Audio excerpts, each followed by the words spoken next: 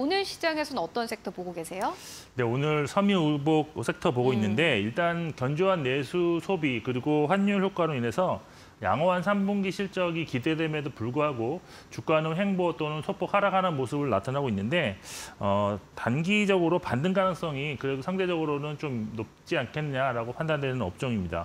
일단 섬유업종, 어, 의복 업종 현황 및 주요 포인트부터 말씀드리면 어, 올해 업종 지수가 현재까지 한 25.2% 정도 하락을 했는데요. 어, 같은 기간 코스피가 어, 24.9% 하락했으니까 거의 뭐 비슷한 수익률을 기록했다라고 보시면 될 것 같습니다. 근데 이제 코스피는 뭐 하반기에 저 추가적으로 하락한 반면 어, 섬유 의복 업종은 어, 하반기에는 좀 횡보 중이다라는 점이 좀 특징이다라고 할 수 있겠는데요. 어, 사실 섬유 의복 업종에 속한 종목들의 실적은 상당히 좀 양호하게 진행된 바 있습니다.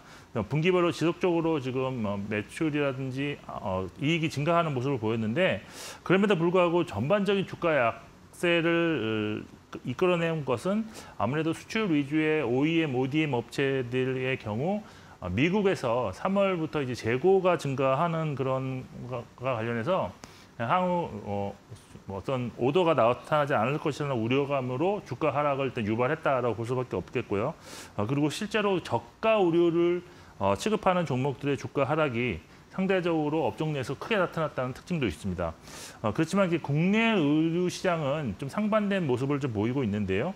어, 소비 경기 위축 우려감에도 불구하고 성장세를 나타내고 있습니다. 지금 어, 주요 유통망인 백화점 매출이 7월에 32% 증가했고 8월에도 25% 성장세를 이어나갔고 9월에도 한 10% 정도 상승한 것으로 추산되고 있어서 이런 분위기는 성수기인 4분기까지도 이어질 가능성이 있다라고 볼 수가 있겠습니다.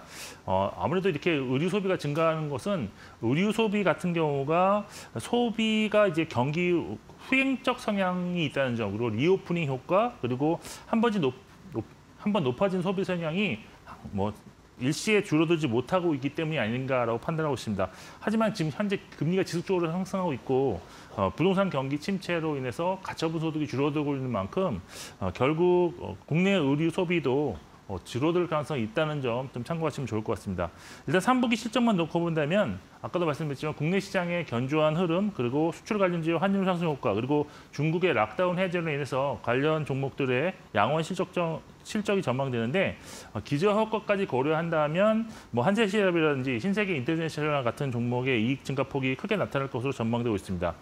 향후 이제 경기 침체가 이제 가시화될 경우에 소비의 양극화 현상으로 인해서 의류 업종 내에서도 어, 이런 부분이 많이 나타날 것으로 좀 보고 있는데요. 따라서 실적 가시성이 높은 고급 브랜드를 좀 보유한 종목 위주로 압축적인 투자가 섬유 의복 업종에서는 어, 유효하다고 판단을 하고 있습니다. 네, 섬유의복 같은 경우에는 4분기가 사실 성수기입니다. 그래서 많은 분들도 기대를 하고 계실 것 같은데 그렇다면 어떤 종목 보고 계세요?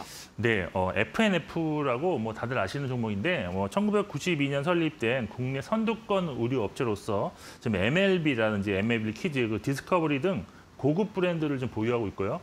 그리고 내수 및 해외 비중은 이제 7대 3 정도 수준이었는데 이 해외 비중이 지속적으로 높아지고 있다는 특징을 보이고 있습니다.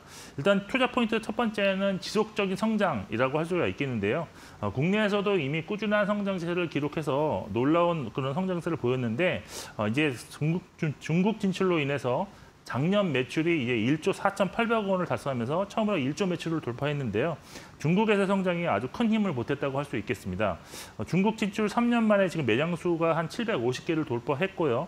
매출 역시 분기당 어, 중국에서만 한 1,700억 정도 좀 수준으로 성장하고 있는 상황입니다.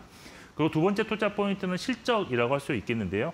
3분기 예상 매출은 국내 부분의 높은 성장세와 중국 부분 회복으로 전년 대비 25% 증가한 4,110억 원, 그리고 영업이익은 30% 정도 증가한 1,245억 원이 예상되는데 특히 영업이익률이 30% 정도로 더치 회복될 전망입니다. 어, 이것을 좀 주목하실 필요가 있는 것 같은데요. FNF 같은 경우는 업계 최고의 그 영업이익률을 기록하고 있는데 글로벌하게 봐도 이렇게 높은 영업이익률은 소비재 최고 수준이라는 점도 참고하시면 좋을 것 같습니다. 어, 이렇게 높은 수익성 지표를 어, 보유함에도 불구하고 현재 주가는 지금 PER 기준으로 한 10.2배 수준으로 저평가 상태에 놓여있는 점에서 어, 실적 발표 이후 상승 가능성 좀 있지 않겠느냐라고 판단을 하고 있습니다.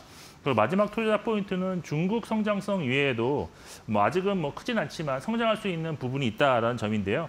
현재 F&F 같은 경우는 글로벌 공- 골프용품 3위인 어, 테일러메이드 지분 인수 그리고 미국 테니스 브랜드 세르지오 타키니를 인수를 통해서 브랜드 포트폴리오를 다각화함으로써 향후 중장기 성장을 위한 교두보를 마련했다라고 할 수 있겠습니다. 물론 리스크 요인도 좀 있는데요. 최근 중국이 지금 시진핑 주석 3기 연임으로 인해서 투자자들의 지금 탈중국 현상이 나타나고 있는데 미중 패권 전쟁이 더 심해질 수 있다는 점이 우려감으로 좀 대두되고 있는 상황입니다. 이는 분명한 리스크 요인인데 그런데 이제 향후 중국이 이렇다면 선택할 수 있는 그런 음, 카드가 내수 부양을 위해 위, 통한 성장일 수밖에 없다는 점에서 어, 추후 뭐 코로나 관련 정책도 어, 좀 변화될 것으로 보여서 FNF에게는 좀 긍정적인 점도 있다는 점도 좀 참고하시면 좋을 것 같습니다. 어, 가격 전략은 목표 주가는 16만 원 그리고 손절가는 12만 4천 원을 제시를 해드리겠습니다. 네, 알겠습니다. FNF에 대한 투자 의견 듣고 왔는데요. FNF의 경우에는 영업이익률이 굉장히 높은 회사다라는 부분 짚고 왔고 목표 주가 16만 원대까지 보면 좋겠다라는 의견까지 듣고 왔습니다. 네, 지금까지 김영재 이사와 함께했습니다. 고맙습니다.